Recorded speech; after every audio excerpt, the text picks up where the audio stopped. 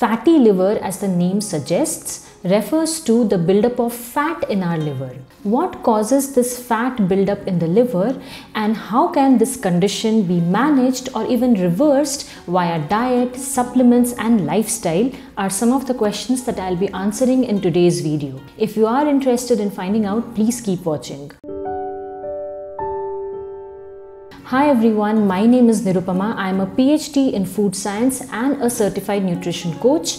Along with making YouTube videos, I also offer personal health consultations and you can get in touch with me by visiting the link in the description box. Liver is the largest organ in our body and it plays many important roles for our body. One of the very important roles that liver plays is blood filtration. It filters out the blood and breaks down all the harmful substances in it. Liver helps in the process of digestion by secreting bile into our intestine. The most important role that liver plays in our body is that of detoxification. Liver makes sure that anything that shouldn't be in the blood like harmful substances, chemicals, foreign objects, alcohol are safely broken down and removed from the blood. So, what causes the buildup of fat in a perfectly functioning liver?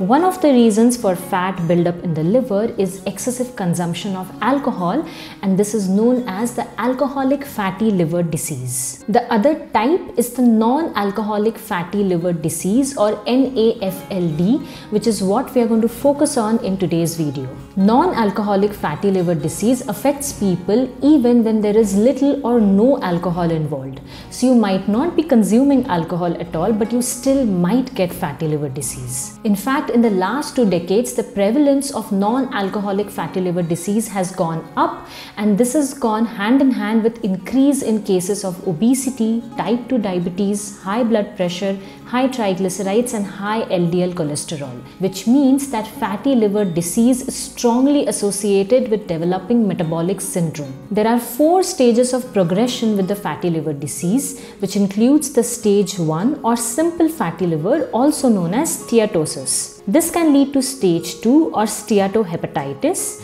which can eventually lead to stage 3 or fibrosis and stage 4 or cirrhosis.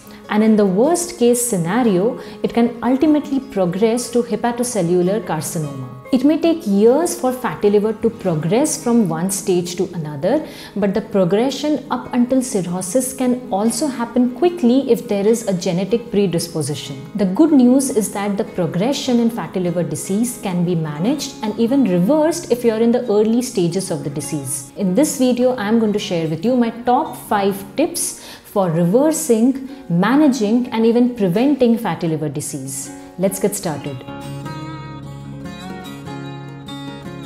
Studies have established a direct correlation between overconsumption of fructose and developing fatty liver disease. Now, fructose is a simple sugar which is naturally found in fruits, but it is not the fructose in fruits that causes a problem. Fructose becomes a problem when it is consumed excessively either in the form of sucrose or what we know as the table sugar or in the form of HFCS or high fructose corn syrup which is being added excessively to all kinds of packaged and processed foods like breakfast cereals, desserts, baked goods, candies, flavored yogurts, salad dressing, ketchup, biscuits, it's a long, long list. Now the amount of fructose that we get from fruits is harmless because we consume smaller amounts of fruits and it is hard to overdose on fructose coming from fruits. However, the packaged and processed foods pack an excessive amount of fructose or high fructose corn syrup and these foods are also very addictive. So we do end up overeating these foods and therefore we end up overdosing on fructose. What ultimately happens is that the excess fructose induces a state of lipogenesis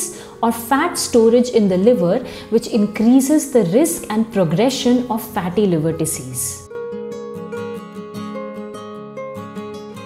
obesity is a major major risk factor which can lead to development of fatty liver disease. There have numerous studies that have demonstrated an improvement in the key features of non-alcoholic fatty liver disease with progressive weight loss. In a study, obese individuals that could lose even 10% of their body weight have shown marked improvement in histological abnormalities of their liver biopsy and also a reduction in inflammatory damage caused to the liver due to NAFLD. So, if you're someone who holds excessive body fat, you must take corrective measures to improve your diet and lifestyle.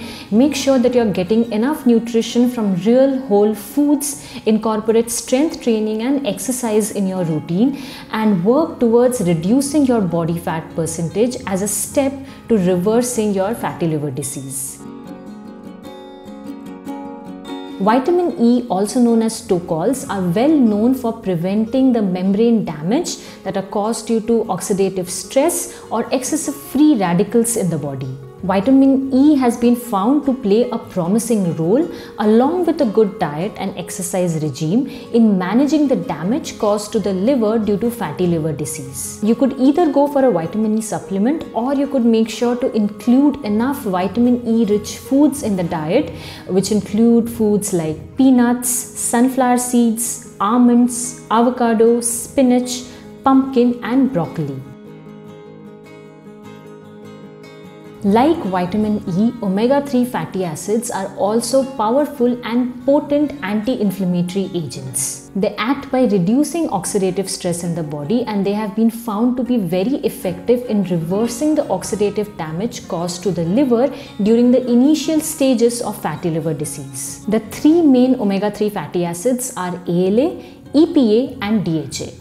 Now, since our body cannot synthesize these omega 3 fatty acids, they will have to be got externally from either supplementation or through a good diet. Some dietary sources of omega 3 fatty acids are fatty fish or nuts like walnuts and even seeds like flax seeds and chia seeds.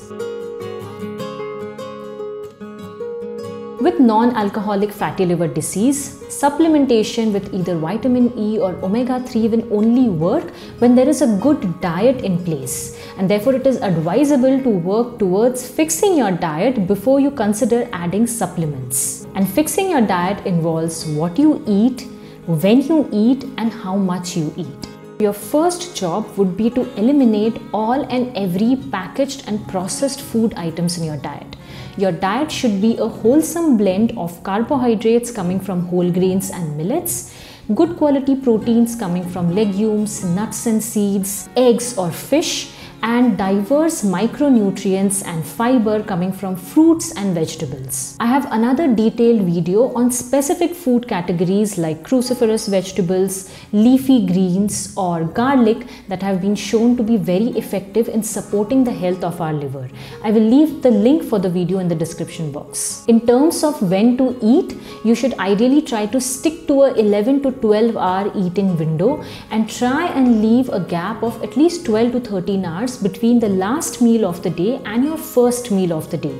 Your dinner should be as close to sunset as possible. How much to eat is determined by your appetite and your metabolism, but you must make sure that you are avoiding overeating foods through the day because overeating is the primary cause of fat deposition in the body and ultimately fat deposition in the organs of the body. So stick to eating smaller portions of food through the day and avoid overeating any one meal. So, a quick recap of my top 5 tips for preventing, managing, and even reversing fatty liver disease. Limit consumption of high fructose packaged and processed foods. Work towards lowering your body weight and your body fat percentage. Consider supplementation with vitamin E and omega 3. And lastly, focus on what you eat, how much you eat, and when you eat your meals. That's all from me for today's video. I hope you found this video useful. If you did, do let me know in the comments and do give me a big thumbs up. I will see you guys in my next video. Take care until then. Bye.